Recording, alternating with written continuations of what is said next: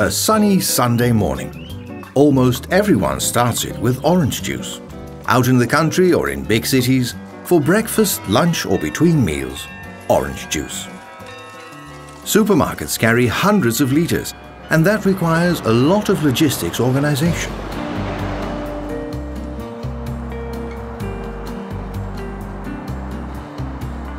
Castle Groeneveld in Baarn is the venue for a meeting of the Platform for Agro-Logistics.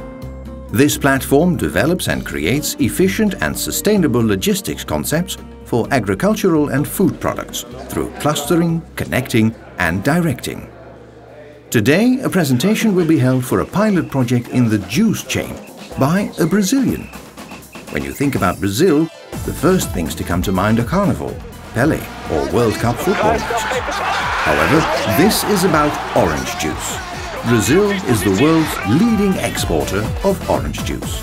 After Romario and Ronaldo, Sergio Ellero is the next Brazilian to test the thin ice of the Netherlands.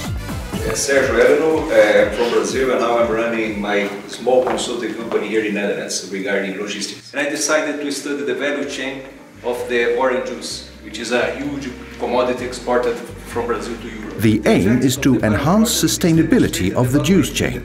This is both better for the environment and financially more lucrative, as Sergio has already calculated.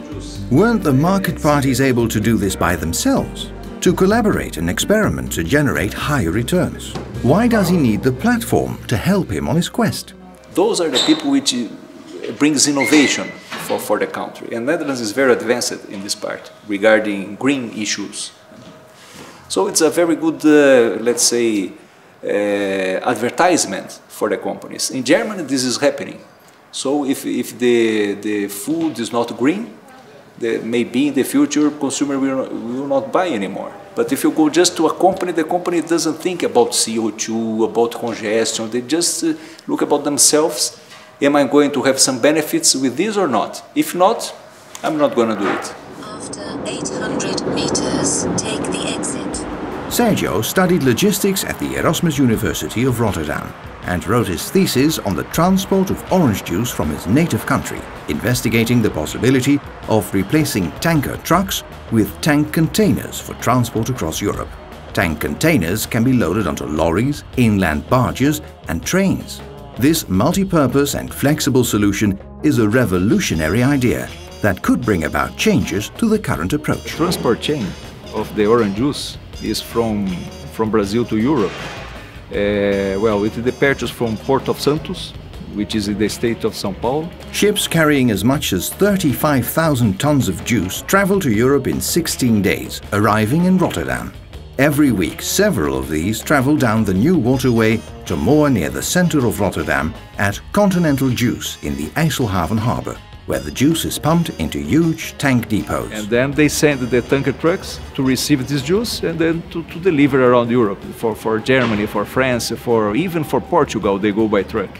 In, a, in average, uh, we have more, more or less 400 trucks per day leaving uh, Port of Rotterdam.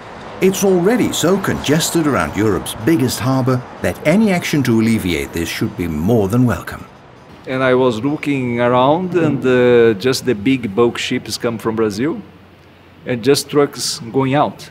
And then I thought, well, I have seen so many barges uh, along the River Rhine in Germany and everywhere. Why don't uh, your clients use barges? Good idea. After all, there has always been plenty of water here. The Batavians lived here on the marshland. Roman relics are often found along the Rhine. They came here by boat, this boat. The Germanic people built entire cities, such as Utrecht, along the water. Theodore III, who conquered Holland in the 11th century, reclaimed the marsh and built waterways along which Amsterdam and Rotterdam would be built. However, at the start of the previous century, it became quicker and easier to transport goods by lorry or tanker trucks.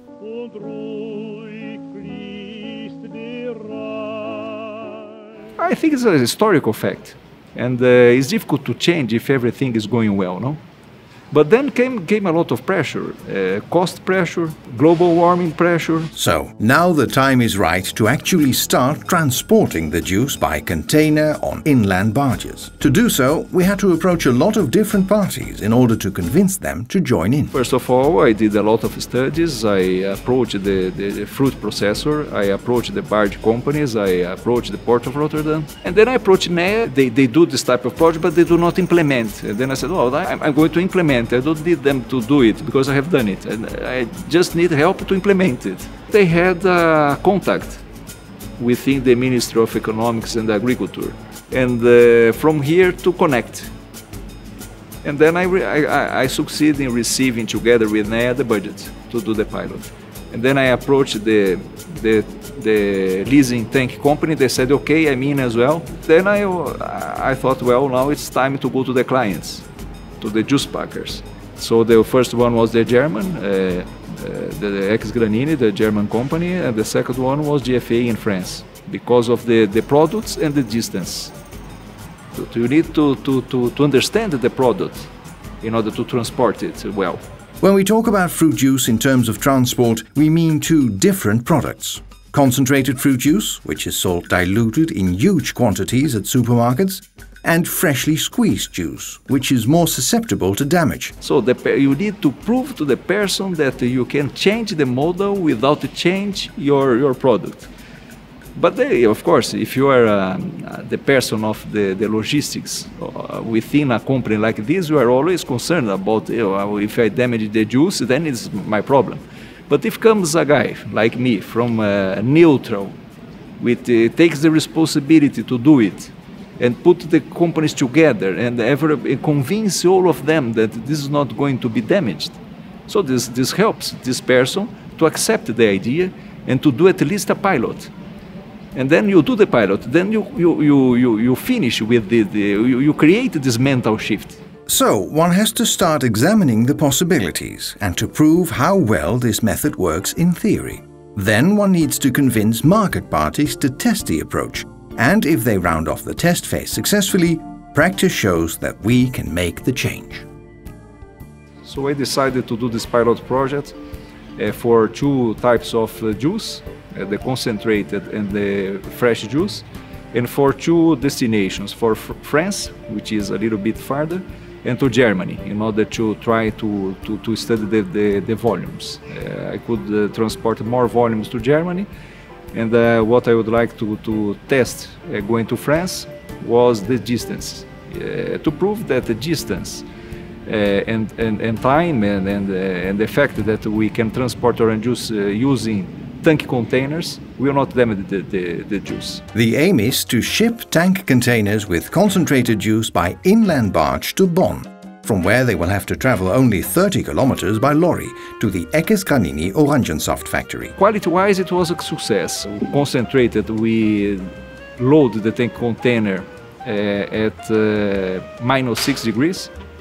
And after three days of transporting no normal tank containers, we delivered the juice at 3.1. And the temperature should be less than 4. The ship with fresh juice aboard will travel to Strasbourg, the container will then travel another 80 kilometers by road to Jus de Fruits d'Alsace. Again, all the tests went well. So we started with the, the reefer tank container, just for precaution. Then the second trial, we loaded the tank container at uh, 0.6 degrees and we delivered it uh, at uh, 3.1. The orange juice needs to be transported or stored, stored below 4 degrees Celsius because above this temperature uh, some reactions will start to occur which will damage the, the juice.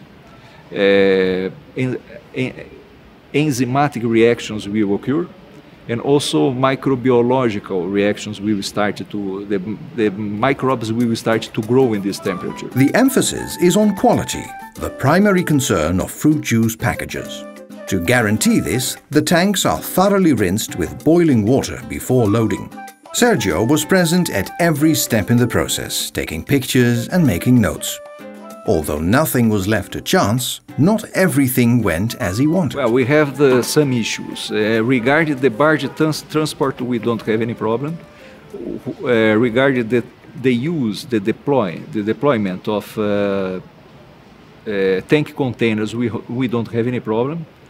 Regarding uh, the quality of the juice, we don't have any problem. But we do have problems uh, regarding handling uh, the tank container in the port of Rotterdam. The, the tank container is in, in Waalhaven. Then from Waalhaven, a truck pick it up and go until the Europort. It's about uh, 23 kilometers from, from, from, from, from Waalhaven. We clean the tank container in Europort. Then from Europort, they come back to IJsselhaven, which is near Delfshaven, with more 30 kilometers to fill it. And then come to Waalhaven, 7 kilometers. And this brought a lot of costs for the pre-haulage. The idea was to everything needs to go pretty well, so we put the best companies to do it. and then we pay we paid a lot for it. Eh? And when we lose the competitiveness against the tanker trucks. Costs will have to be reduced, but we can conclude that inland barges are certainly well suited to the transport of fruit juice.